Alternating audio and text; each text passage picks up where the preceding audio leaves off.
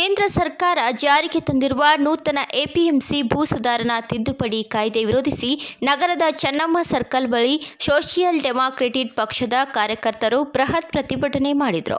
ರೈತರ ಸಂಘಟನೆ ಜೊತೆಗೆ ಪಕ್ಷಾತೀತವಾಗಿ ಬೆಂಬಲ ಸೂಚಿಸಿ ಕೇಂದ್ರ ಸರ್ಕಾರ ಜಾರಿಗೆ ತಂದಿರುವ ನೂತನ ಕಾಯ್ದೆಯನ್ನ ರದ್ದುಪಡಿಸುವಂತೆ ಆಗ್ರಹಿಸಿ ಕಾರ್ಮಿಕ ವಿರೋಧಿ ನೀತಿಯನ್ನ ಜಾರಿಗೆ ತರುವ ಮೂಲಕ ಕೇಂದ್ರ ಸರ್ಕಾರ ಪ್ರಜಾವಿರೋಧಿ ನೀತಿಯನ್ನ ಅನುಸರಿಸುತ್ತಿದ್ದು, ಈ ಕೂಡಲೇ ಈ ಅವೈಜ್ಞಾನಿಕ ಕಾಯ್ದೆಗಳಾದ ಎಪಿಎಂಸಿ ಮತ್ತು ಭೂ ಸುಧಾರಣಾ ಕಾಯ್ದೆಯನ್ನ ವಾಪಸ್ಸು ಪಡೆಯಲು ಒತ್ತಾಯ ಮಾಡಿದರು. ರೈತರು ಹಾಗೂ ಕಾರ್ಮಿಕ ವರ್ಗವನ್ನ ಹತ್ತಿಕ್ಕುವ ನಿಟ್ಟಿನಲ್ಲಿ ಕೇಂದ್ರ ಸರ್ಕಾರ ಈ ರೀತಿ ಏಕಪಕ್ಷೀಯ ನಿರ್ಧಾರ ಕೈಗೊಳ್ಳುತ್ತಿದೆ ಎಂದು ಪ್ರತಿಭಟನಾಕಾರರು ಆರೋಪಿಸಿದರು. ಸೋಷಿಯಲ್ ಡೆಮಾಕ್ರೆಟಿಕ್ ಪಕ್ಷದ ಜಿಲ್ಲಾ ಪ್ರಧಾನ ಕಾರ್ಯದರ್ಶಿ ಇಶ್ರಾದ್ ಅತ್ತಾರ್, ಹಮೀದ್ ಬೆಂಗಾಲಿ, ಇಶ್ರಾದ್ ಅಹಮದ್, ರಿತ್ತಿ ಹಾಗೂ ಮುಂತಾದವರಿದ್ದರು.